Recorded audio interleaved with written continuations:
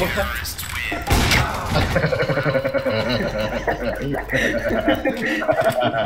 делать нечего, блядь. Это я предложил. Ебанат тупой, блядь.